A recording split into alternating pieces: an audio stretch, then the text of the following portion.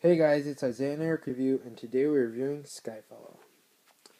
So, to start out, this was a really good movie. Kind of slow at the beginning, but it, it it gets better. I actually like the end. The end's really cool. So here's the front cover. I like that it doesn't have that thing like all the other Blu-rays do. For example, Limitless. I hate that Blu-ray thing. And this one, I don't hate it, doesn't bug me, but whatever. I like the top, it's cool. Blu-ray DVD, digital copy, Skyfall. And that's glossy, as you can tell from there.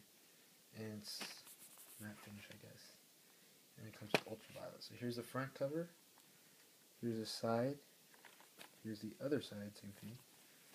And here's the back. A little synopsis of the movie, what's in it, and the background when you take off the sleeve, pretty much the same exact thing. Same side panel. And same back. Just a little more. When you open the box, you get your ultraviolet, the code on the back, and the digital copy code. And the DVD digital copies is on one disc, which I hate. And same disc art, kind of lame, but whatever. There you have it, your Skyfall 007 Blu-ray